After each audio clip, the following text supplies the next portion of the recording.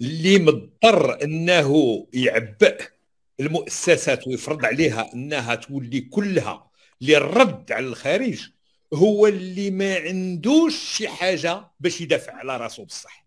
اللي عنده باش يدافع على راسه كيحتاج انه يبين هذه المؤسسات بانها مستقلة وبانها كتصنت الأطراف بتجرد وبانها كدير تحريات بعمق وبانها كتخرج القرارات ديالها بقوة.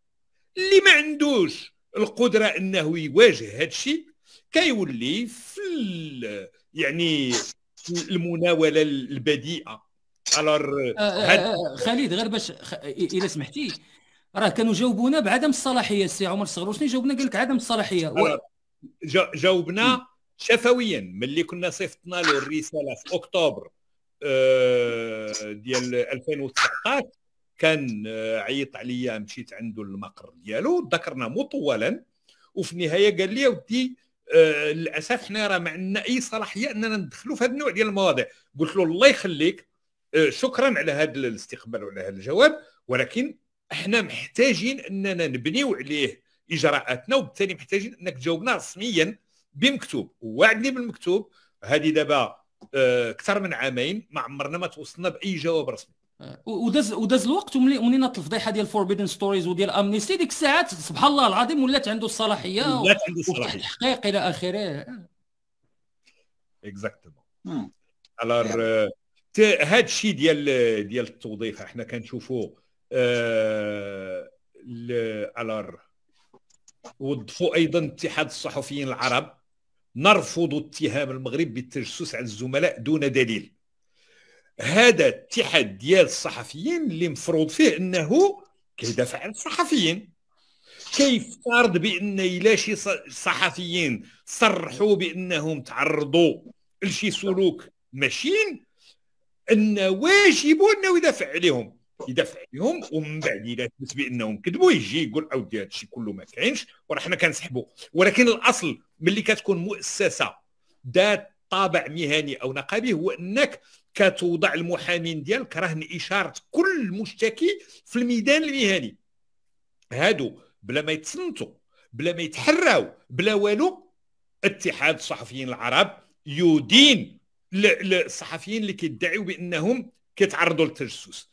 أشنو المنطق ديال هذا الشيء هو أن عندنا ناس في الجسم الصحفي في المغرب اللي الخدمات المتبادلة مع أصحابهم في هذا النوع ديال المؤسسات كي كيتمكنوا انهم يجيبوا هاد البلاغات اللي ما كتاكلش الخبز. بحال كانوا حياو هذه واحد جوج ديال الأسابيع واحد اتحاد البرلمانات العرب اللي ما تجتمعش هذه 18 عام وكيخرجوا ذاك الأمين العام ديالو مرة في العامين كيحتاجوه كيخرج واحد البلاغ كيقول لك راه البرلمانات العربية تتضامن مع المغرب في كذا وكذا الور كو لا وجود لهذه المؤسسة أصلا. أه الآر. كاين أيضا تذكير مفيد هو أن آه، في هذا النقاش على بيغاسوس الدفاع ديال المغرب هو جيبوا لنا الإثبات بأن حنايا تجسسنا على شي حد.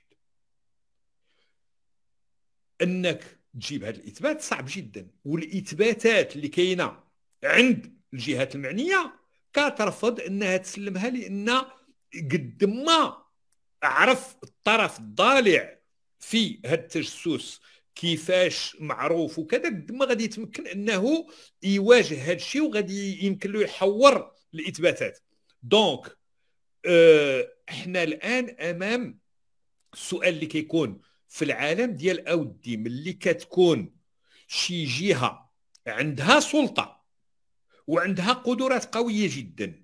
وكتكون متهمة كتدار آليات ديال التحقيق المستقل النزيه القوي اللي غادي يمكن لها تصنت لكاع الأطراف ودير كاع التحريات وتوصل لنتائج وترتب عليها إجراءات. المغرب ما دار لجان ديال التحري حتى برلمانية ديال هذا البرلمان على علاته ما دار تحري قضائي. ما دار تحري آه، إداري ولا والو. أشنو دار؟ كيخرج لنا الصحافة ديالو باش يقول لنا لا هادشي كذوب وهادشي عداء وهادشي هضرة خاويه وهادشي وسيروا أنتم جيبوا لنا الإثبات. من أكبر الإدانات اللي وقعت للنظام المغربي هو إسرائيل اللي كيقول بأن حكا حنا رحنا آه، رسمنا معها العلاقات لأن غادي تقدم لنا خدمات. إسرائيل ماشي غير رفضات أن إنها تبرئوا في القضية ديال بيغاسوس إسرائيل سربات وثيقة للصحافة الدولية كتقول فيها بأن الحكومة الإسرائيلية قررت منع الاستمرار في العلاقات التجارية ديال بيغاسوس مع الدول الفلانية على رأسها المغرب. أي أن إسرائيل تقر بأن بيغاسوس تباع للمغرب. دونك حتى وي.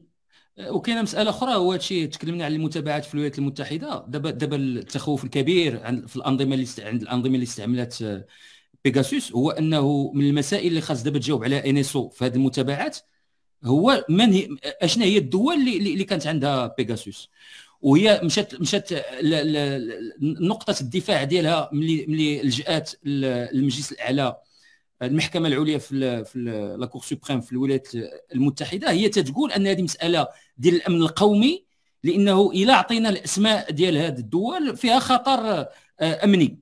وتم الرفض ديال ديال هذا الطلب هذا. بمعنى آخر دابا المسألة غادي غادي تحكم وأنه غادي غتطلب من NSO انها تعطي اللائحة ديال ديال البلدان اللي اللي عندها اللي عندها Pegasus ودابا الجميع كينتظر يشوف هذا الشيء كيفاش غادي غادي يتطور. ومن المحتمل أنه فعلا نعرفوا شنو هي اللائحة رسميا قضائيا في الولايات المتحدة ديال ديال الدول اللي اللي استعملت بيغاسوس. آه، آخر نقطة في الموضوع ديال بيغاسوس هو تقرير ديال آه، دراسة اللي آه، دارت ب يعني تكليف من اللجنه ديال البرلمان الأوروبي واللي من يعني العبارات ديالها هو إن التورط ديال المصالح الاستخباراتية المغربية في الموضوع ديال بيغاسوس آه، يعني يصعب الشك فيه. الدراسة كتحرى الدقة والنسبية وكذا ولكن آه، ملي كنشوفوا العبارات ديالها كتوصل أن المغرب متورط في التجسس على الجهات الأوروبية بشكل خاص على الزعماء الفرنسيين وعلى أحد الزعماء الإيطاليين.